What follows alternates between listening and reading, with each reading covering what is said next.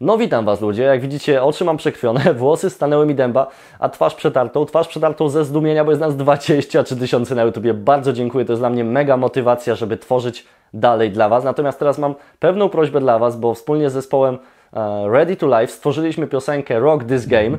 Oto trailer tej piosenki i walczymy o to, żeby ona pojawiła się przed finałem mundialu, nie tylko w Polsce w telewizji, ale także na całym świecie. A powiem nieskromnie, cały teledysk został stworzony na stadionie Legii z moim udziałem i z właśnie z serii Strenuj Krzychem. Walczymy o to, żeby do czwartku ten trailer teledysku został otworzony 100 tysięcy razy. Dzięki temu zwiększacie nasze szanse. Zróbcie to dla nas. Do zobaczenia.